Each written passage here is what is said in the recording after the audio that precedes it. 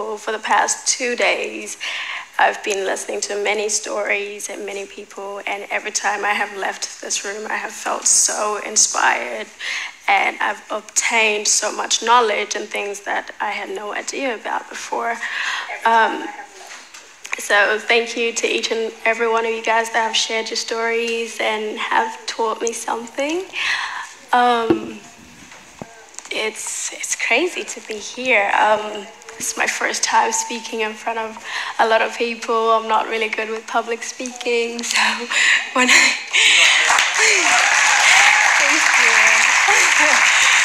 um, when I first found out that I had made the list of the BOF 500, I was blown away because I had known about business of fashion. I followed them, and never ever did it cross my mind that I would be one of the 500 people who's making some sort of positive impact within the fashion industry. Um, when I found out, when my agent told me about the gala in New York City, I I asked her, I was like, how and why? Why me? So when I attended the gala, I met Imran for the first time, and I remember asking him, why me? and he said, um, for the past year, I've been following your journey, and you are so inspiring. And I was like, if I can inspire someone like Imran, that proves that I can not only inspire models, but I can inspire so many different people from different fields of the industry, um, from various industries. Um, and then he asked me about my story, and I told him about it, and and here I am today. Found out about voices, and as nervous as I was because I don't usually speak in front of a lot of people. I was so excited because, you know, I get to be here and share with you guys about my story, and it's just such an absolute honor. So now, we can why will you always be a refugee? Why will I always? I will always be a refugee because that's who I am. Um, like I've mentioned before, no matter you know, no amount of money or my status or how famous or whatever the case is, I'm always going to be a refugee and I am proud of who I am. And, you know, that's why I always say I'm always going to be a refugee. That's being a refugee, I guess. I don't know, like I said, does, does that mean you feel like you belong nowhere? Or do, or do you feel? I feel I feel like I belong everywhere. Really. Yes, that's right. Yes, yeah, that's the answer. I do. I feel like anywhere in the world is a home for me, and I belong. Because before, when we were talking, I, I, I wondered what your earliest memory was, because you've lived very distinct lives. Yes, I have. Um, so quite surprisingly, I have pretty good memory of, um, you know, when I was younger in the camp. Um, as you know, some of the best memories I have is just being a child. I didn't know I was in a refugee camp. It never felt like I was in a refugee camp. You know, I had my cousins there and I had friends and some of the best memories was just running around and being a child and playing, you know, not worrying about anything. And then there was, you know, the terrifying memories. I'm like four, and you know, um, being a four-year-old, you don't really understand what's going on, but you know, you have some sort of gut feeling or sense that something is not right. And I remember there would be times where, um, you know, my family and my relatives and people around me would be scared because, you know, there would be they thought that there was people coming to come and kidnap their kids and kill us and all of this. So, you know, our families would be packing up and we would all get in groups and try and stay together. And I, I never bothered to ask what was going on, but I knew that something wasn't right. So it was, you know, as I have those good memories, I also have them terrifying memories that, you know, I wish that no child ever has to feel. And because your family was split up, weren't they? Yes. Um, so my family, when I was born, I was born in South Sudan. My family was fleeing war. Um, and then they landed in Kakuma refugee camp where I grew up and um, you know, Kakuma was my first home. And you know, some of my family is still back in South Sudan right now. I have family in Kakuma, I have family in Nairobi, I have family in South Sudan, I have family everywhere around the world. So yes, we were split up, but um, I guess we. But how and how did you get from Kenya to Australia then? Because Um, it seemed you ended up in Adelaide in Australia, which seems quite random, except it wasn't, was it? No, um, so my auntie um, actually first went to Australia with my older sister, and they started a visa process for my mother and my younger sister, um, and my older cousin. And the visa process was a whole lot easier because my sister had a mother, and you know, when you have family, it's so much. It's not that easy, but it was so much easier. And when we got approved for our visa, you know, we left everything that we had in Kenya and we went to Australia and we landed in Adelaide and we started our new life there. And you were reunited. Yes, we were with my older sister who I hadn't seen for a few years as she went to Australia a few years before us and she, she's like my best friend and and all my other family that was in Australia before us and yes. See, I, I have friends who, who, who were refugee children who ended up in a completely different culture from the one that they were familiar with. And it was an incredibly disorienting, disorienting experience, which they've really spent the rest of their lives coping with. But I'm curious uh, uh, what your experience was landing in Australia, um, completely different from any, obviously, from anything you knew, where you had to acclimatize yourself to a new education system, for example. Right. I mean, when I was in Kakuma, you know, in Kenya, my mother could not afford. I wanted to go to school so bad, but my mother could not afford for me and my younger sister to go to school. She, you know, she had a, a lot of people to look after. My mom's a single mom, and she's been a single mom since, you know, I was a child, and um, so that was something I really wanted to do. So that was one of the things I was really excited about going to Australia because I had heard stories about, you know, education is free there. And I was like, yes, I get to go to school. So the first thing I wanted to do when I landed in Adelaide was enroll in school. And, you know, um, leaving everything I had behind in Kenya, like I was mindful and um, open-minded about this new lifestyle that I'm about to start. I didn't know what to expect. I didn't know what was Australia was going to be like, or you know, the opportunities it was going to give me. I didn't expect anything at all. I kind of just went with the flow, and um, Australia was very. I adapted to Australia very quickly, and I think most children do adapt to new things very quickly. But um, Australia became home to me so quickly. Um, went to school, loved school, never wanted to, I didn't want the weekend to come because I wanted to go to school every single day. Um, meeting new people, I learned English so quickly, and I just, I don't know, I just Were you super like I- tall? Were you, were, you, were you a super tall I was actually very tall.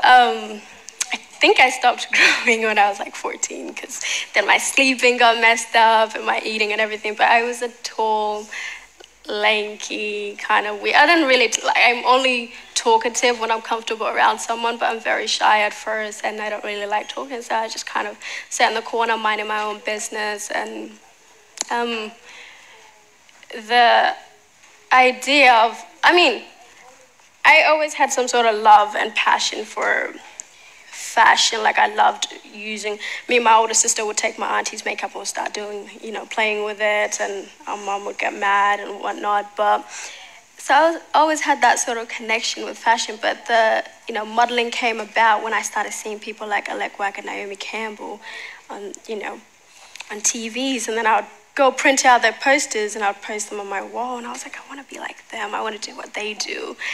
And then it really came about in year seven when I was this tall, lanky, skinny, I don't know, model figure. And my year seven teacher started telling me, you should be a model. And I was like, okay, cool, I'm gonna be a model. But I didn't really know anything about modeling. Um, I just, I guess I just liked the look of Naomi Campbell and I like white, but I didn't really understand anything about modeling. Um, That's good. You saw yourself in fashion, though, so Right. you could imagine yourself actually doing it because. Yeah, that- I mean, I loved clothes. I loved makeup. I loved anything. You know, I loved dressing up. And I'd always take my sister's makeup and do it at school, and then they would call my mom, and tell my mom, and I'd be like, no, I didn't. but, but if you had all this new opportunity, what, what did your mother want you to do? Uh, the biggest thing that my mother wanted me to do was to get an education because that's something that she really wanted to do. And when we first moved to Australia, she told all of us, like, you know, she wants us to go to school and get an education degree and things like that. And she'll be a proud mom and all of that. So the biggest thing was education. And I wanted education for myself, not only for my mom, but also for myself. And that was what I went for. And I got my education. I graduated high school last year and I made my mom proud, like I promised her. When I first moved to Australia, I promised my mom three things. I said, I'm going to finish high school, I'm going to buy you a car, and I'm going to buy you a house. And those three things, I have achieved two of them, which is completing high school and buying my mom a car. And I'm currently in the process of trying to buy my mom a house. So. All by the age of 18. What car did you buy her? Hmm? What car did you buy her? Um, I got so for the longest time, my mom was talking about how she wanted a Jeep, and then I was like, okay, it's gonna be expensive, so I'm really gonna have to save. And then in the end, she's like, you know what? I don't even want a Jeep anymore. They're like super expensive, and they, you know, she just had reasons as to why she didn't want it. So she wanted a Nissan, like the latest model of like a, I guess a five-seater family car Nissan, and that's the one that I got her. Perfect. Perfect. how how were you discovered then? You said you were you you you, you became sort of fascinated by by modeling. How, how were you actually discovered? Um, so I've actually been scouted at like shopping centers and airports and things like that. But how my first experience with modeling was I had an auntie who did a bit of modeling and then she started designing some African fabric um, print clothes. And then she would have these mini shows in the city, Rundle Mall in Adelaide. And when I said I wanted to model after my year seven teacher had stressed it to me so much, I told my mom, she was like, You're 12. Like, what are you going to do? You know, you're in year seven. And she was not with it. So try to convince her. She didn't. So I tried to get my auntie to convince her, and she was like, "No, she's too young." But then, you know, when I my auntie asked me to be in her show, and I was like, "Yes, but you're gonna have to ask mom because she's not gonna be okay with it." So she asked mom. Mom didn't think anything of it. She was like, oh, "Whatever, you know, cool." So I did the show, and my first time walking on a runway, I just had this feeling like, "This is it. Like this is what I want to do." Um, why? Why do you think? I don't know. I cannot describe why, but I feel like maybe it was just in me that that modeling was something I wanted to do, and it's I don't know. Like I just fell in love instantly. It was like love at first sight. Went on the runway, and I was like, "This is it.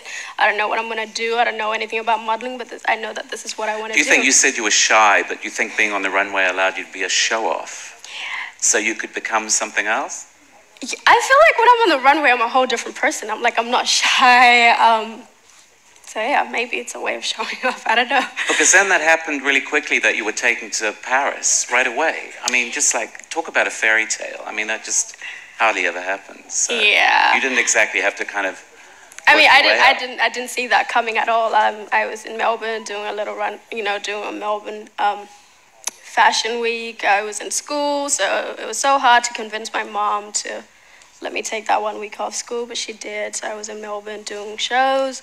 I get a call from my agent telling me, oh, you know, Saint Laurent wants some headshots of you. And I was like, oh, okay, didn't think anything of it. I'm like, Saint Laurent, you know, you know. Um, so I was like, you know, what do they want?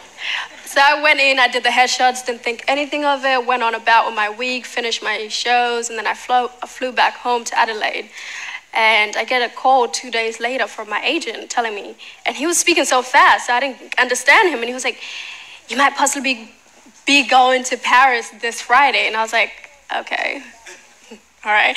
And he was I missed the part where he said for Saint Laurent, but then I was like, oh, I'm going to Paris. Like, what am I going to Paris for exactly? So I called him back, and he was like, oh, it's for Saint Laurent. They want to go see you. And I was like, oh, okay, wow, that's crazy. My mom was actually, she went to Kenya, and then she arrived a day before I left. So I called her And she was like, um, like, what about school and all of that? I'm like, Mom, it's just for a couple of days. I promise I'll do my homework. Um, Yes, I bet. um, so two days later, I flew to Paris. I, you know, it was my first time flying out of Australia in a long time. So nobody had told me I had to wear like compression leggings or anything like that. So I didn't move in the plane. My foot swelled up actually. And it was pretty bad because I spent the first eight hours in Paris at the hospital. So straight after, my there's no shoe that was fitting my foot. I thought I was gonna lose my foot. I was freaking out. It was very painful, and I really thought that they were gonna cut me from the show because you know I was just going for a meeting. I braced myself that okay, if they don't like me, they're not gonna choose me, but at least I get a free trip to Paris, or whatever.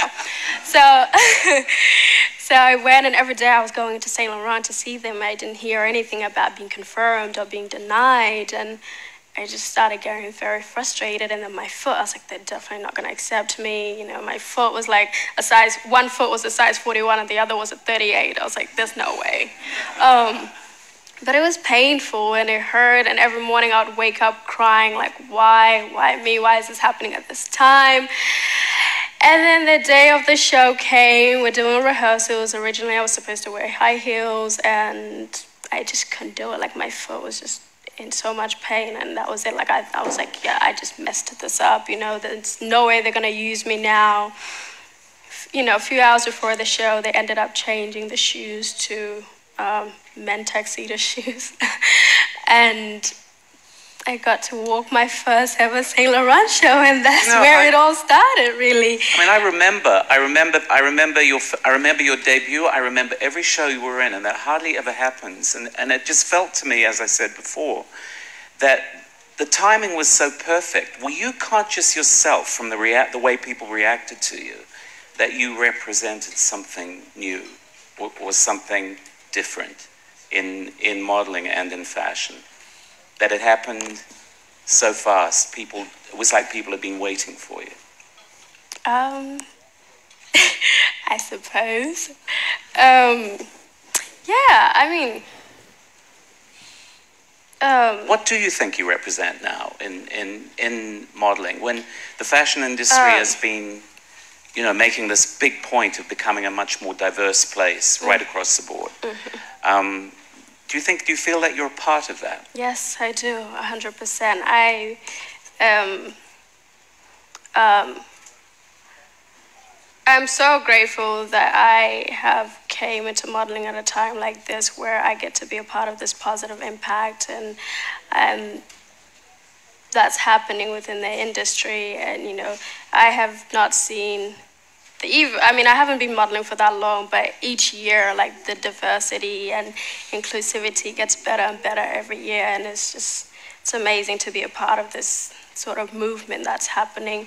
Um, you know I represent black girls I represent refugees I represent um, you know, people who came from nothing and have made something out of themselves. I, I feel like I represent a lot of things, and um, you know, I sit here proudly today, just you know, knowing that I'm inspiring a lot of people, and you know, just like how I looked up to people like Alek Wek for inspiration. Now I. You know, people look up to me for inspiration, and I don't think there's no greater feeling in this world than that. And, you, and that, doesn't, that doesn't overwhelm you. You feel, you feel you have a responsibility to, to represent. Uh, I do get overwhelmed like any human being does, but um, you know, I feel like I have this responsibility to represent, you know, young girls and boys. You know, I don't only have girl, little girls that look up to me, but there's also boys who message me telling me that, you know, I inspire them in what I do, you know. And it's not just people who want to model, it's, you know, people message me telling me that I've inspired them to love their black skin and I inspire them to, you know, chase their dreams because I'm a big believer of dreams. And um, I always, in every post, I always say, you know, if you have a dream, just go for it because you'll never know. And, And, and what do you imagine will happen now? What would you like to come next? um, I want this movement that is happening within the industry to you know get better and better more diversity more inclusivity and i'm just really really excited to see you know where we're going to head with this um, so far we're doing a great job I'm, you know i like to acknowledge the industry for what the i don't know the movement that's happening right now. Um,